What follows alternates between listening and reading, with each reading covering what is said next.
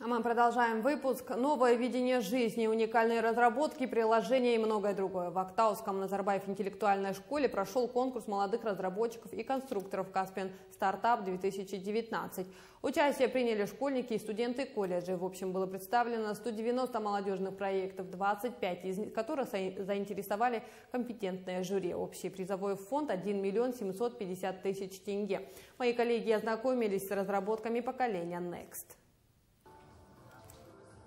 В конкурсе помимо мангостауских юных дарований участие приняли и представители Ахтубея Турау.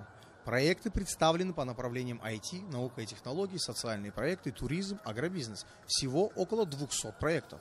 Основной смысл – выявление талантливой молодежи, поддержка и обмен опытом между участниками.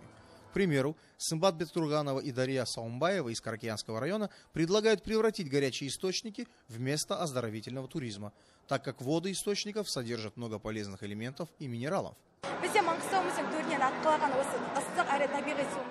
Мы хотим превратить наши горячие источники в курортную оздоровительную зону наподобие Сарагаша и Боржоми. Да, конечно, в 45-градусную воду не каждый войдет по состоянию здоровья, и мы предлагаем создать условия для комфортного проживания и лечения гостей.